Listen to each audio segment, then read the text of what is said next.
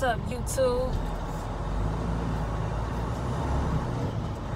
On my way to uh, Sacramento, leaving Oakland, California. Easy night. Real easy. So, what I want to talk to you guys about today is I don't know if you can see me or not, but you don't got to see me. As long as you hear me, all that matters. As long as you hear me out. I want to talk to you guys about when a child is born. Okay? When a child is born, that child gonna be born regardless. Whether it's by you or somebody else. So if you get an abortion and that child's supposed to be here, oh they will be here they will be here through someone else. It might just be a different gender or a different race, but they're gonna be here. So I'm saying that to say this. When that child is born, when a child is born, that child really does not belong to you. Yeah, you had the child. Yeah, you take care of the child to grow up to be an amazing person but that child does not belongs to you. That child belongs to God. You belongs to God.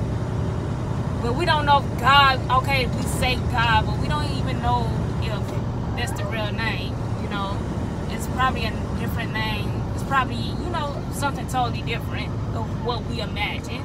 It's beyond our imagination. We can say this, we can say that say what we think, but it's beyond our imagination. We imagine a lot of things, but God, you cannot imagine that. It's just beyond our, when you when you see him, it's gonna be beyond what you would ever think of or thought of. You understand? So when a child passed away, people fall down on the floor. Oh my baby, my baby, that child did not belong to you. That child had a specifically date you're going to be here this day and you're going to leave this day. I don't care if it's two years. I don't care if it's 92 years. At the end of the day, that child does not belong to you. That child was put here to do the purpose or the duties of what God wants them to do. But that person had to come out in physical form you. So when a child loses their life, your child, I don't know how they feel. It's hurtful because you, you go, you grow attached to them. And when you have a baby, you already attached while you're pregnant.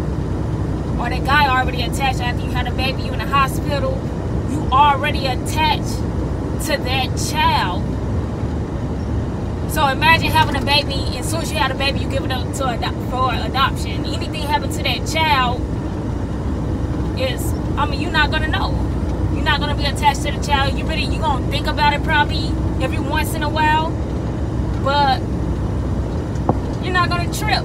Only reason you trip because you grew attached to that child. You there, you know, since day one. That's why you trip when that child passes away. That child does not belong to you. So when it pass away, or you pass away, I don't know, but what I'm trying to say, when your child passes away, Lord forbid, or even as an adult, and they pass away, you know, don't go in depressed mode. Don't be too negative. You know? Because that child didn't belong to you in the first place. So you got to understand, okay, I'm here. God chose me to be your mother. And God chose me to be your father. So I'm going to do the duties of a mother and a father and take care of you.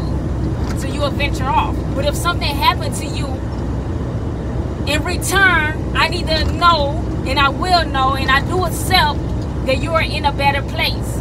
You are where God wants you to be. You're only with me just for the moment. You're only with me temporarily. You're not gonna be with me forever. And I'm not gonna be with you forever in a physical form. So just as easy as you accept the child, you need to let the child go when it's their time. So when if you're pregnant, it's your first child, just remember, I, I accept this child, take care of this child. I'm happy. Your every child is a blessing, and I'm blessed to be your mother. But when it's your time to go, I will let you go if you happen to go before me. And if it's my time to go, you need to understand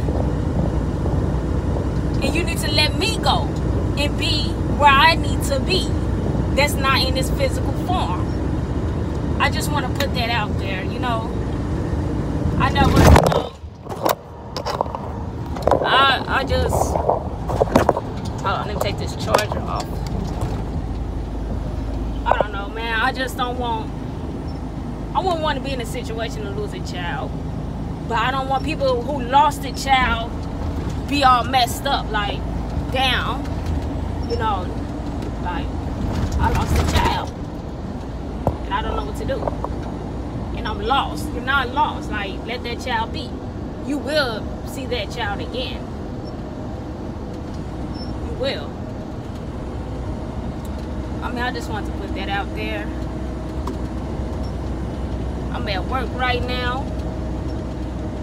And you guys have any questions, any comments, I don't even care if you talk stuff. Like, leave it below. I don't care what you say. I'm not a sensitive person. I do my job. I make my money.